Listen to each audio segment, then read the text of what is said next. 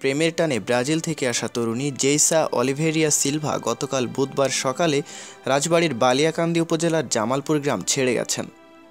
তিনি গতকাল বিকেলে রাজধানী ঢাকার মিরপুরে থাকা প্রেমিক সঞ্জয় ঘোষের এক দাদার বাড়িতে উঠেছেন। আগামী দশ এপ্রিল ব্রাজিলে ফিরে যাওয়ার আগ পর্যন্ত তিনি ওই বাসাতেই থাকবেন বলে সঞ্জয়ের স্বজনরা জানিয়েছেন।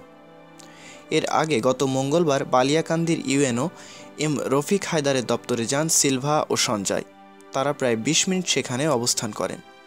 ইউএনও এম রফিক হায়দার বলেন, ফেসবুকের সম্পর্কের অংশ হিসেবে সিলভা বালিয়াকান্দিতে এসেছিল।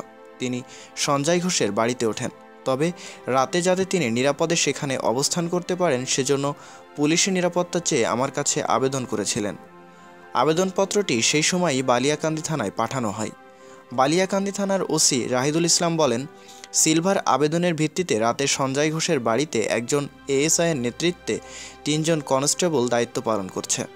এদিকে গতকাল বিকেলে জামালপুর ইউনিয়ন শ্রমিক লীগের সাধারণ সম্পাদক গিয়াসুদ্দিন শেখ জানান, গতকাল সকাল এগারোটার দিকে সিলভা ও সঞ্জয়কে নিয়ে তিনি রাজধানী ঢাকার মিরপুর এলাকার উদ্দেশ্যে রওনা হন। বিকেলে তারা সেখানে থাকা সঞ্জয় ঘোষের এক দাদার বাড়িতে উঠেছেন।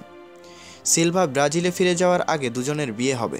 উল্লেখ্য, ফেসবুক পরিচয়ের পর জেইসা অলিভেরিয়া সিলভার সঙ্গে মেসেঞ্জারে ইংরেজি ভাষায় নিয়মিত যোগাযোগ হতো সঞ্জয়ের। দুজনের মধ্যে প্রেমের সম্পর্ক গড়ে ওঠে। গত সোমবার বাংলাদেশে আসেন তরুণী। সিলভা ব্রাজিলের মিউনিসিপ্যাল অ্যাসিস্ট্যান্ট পদে চাকরি করেন। মূলত জনসমাগম এবং নিরাপত্তাজনিত কারণেই রাজবাড়ি ছেড়েছেন সিলভিয়া।